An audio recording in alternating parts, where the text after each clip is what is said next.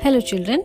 Today we're going to discuss the summary of lesson 8 from your book Footprints Without Feet. And the name of the lesson is The Hack Driver, and it is written by Sinclair Lewis.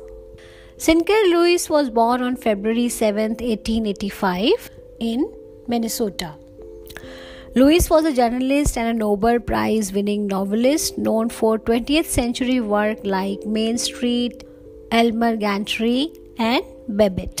In 1930, he became the first US writer to win the Nobel Prize in Literature. Lewis died on January 10, 1951, in Rome, Italy. So, now let's begin the summary of this lesson. So, in this story, the narrator was a junior assistant clerk in a reputed law firm after doing his graduation with honors. He only appeared to serve summons. He did not prepare legal briefs. The narrator hated this unpleasant work and also the city life.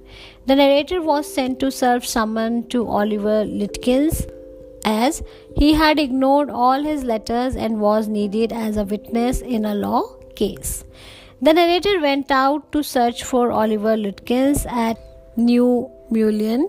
The place was very muddy. It was not properly maintained. He reached there and met a delivery man with a hack. His name was Bill. He was a middle aged man of 40 years.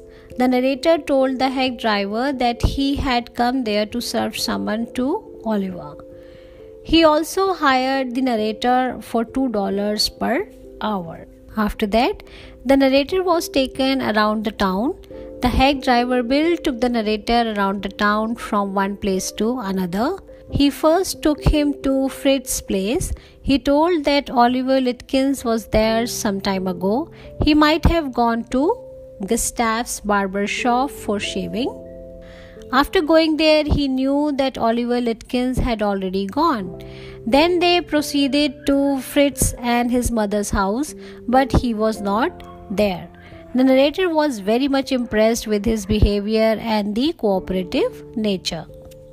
After some time, the narrator got frustrated. The narrator could not get Oliver Lutkins, and that's how he was frustrated. He was also apprehensive that his boss would reprimand him. After reaching at the office, he was ordered to go back to New Mullion again with a man who could recognize Lutkins. After reaching by the train at New Mullion, the narrator found Bill standing near his cart. Narrator told one of the companion that how Bill helped him. He was much happy with his cooperation at this, the companion of narrator was very surprised. He told that the man was none other than the Oliver Lutkins and he knew him very well. The narrator got hurt. When the narrator served the summons to Oliver Lutkins, he and his mother laughed at him. It seems as if he were a bright boy of seven. This thing really hurt the narrator. So, this was the summary of the hack driver.